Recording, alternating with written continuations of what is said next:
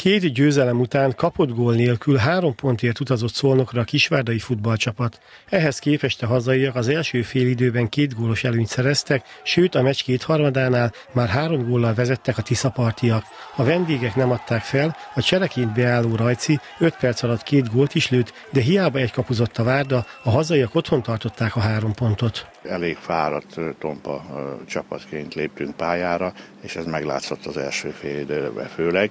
Ennek ellenére a szólnok ragyogóan lezárta a területeket, nem tudtunk kezdeményezni, nagyon szűk volt a, a lehetőségünk, és egy kapusztunk, és hát milyen a sors, ugye egy-két ilyen kontraellentámadásból abszurdon dekoncentráltan a védelmünk, olyan egyéni hibákat követtünk el a védekezésbe, egyénileg is, ami, ami, ami ilyen szinten megengedhetetlen, és hát ezen természetesen elgondolkodtunk, meg el kell a csapatnak is gondolkodni, hogy ilyen, ilyen gólokat nem szabad kapni rá. Ugye gólra gólt kaptunk, és ez nagyobban befolyásolt az egész mérkőzés alakulását.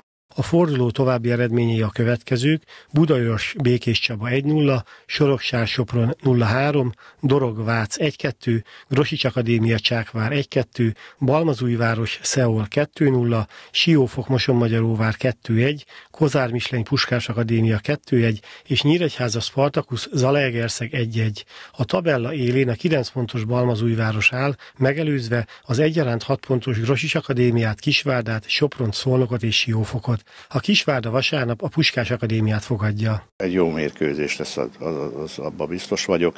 A játékban pedig hát kellő javulás is lesz részemről, úgy ítélem meg, már a mostani állapot szerint is, és azért egy nappal több pihenő idő van most azért a szerda és a vasárnapi mérkőzés között is, az is sokat jelent. Hát azt úgy ítélem meg, hogy azt a játékot, amit a hétvégén nyújtottunk a hazai pályán, azt kell megismételnünk, és azzal eredményesek fogunk lenni. A Kisvárda Puskás Akadémia mérkőzés vasárnap 17 óra 30-kor kezdődik a Várkerti pályán. A további párosítás a következő, Moson-Magyaróvár Nyíregyháza Spartakusz, Cigánd Balmazújváros, Szeol Budaörs, Békés Csaba Soroksár, Vác Grosics Akadémia, Siófok Kozármisleny, Zalaegerszeg Dorog, Csákvár Cegléd és Sopron Szolnok.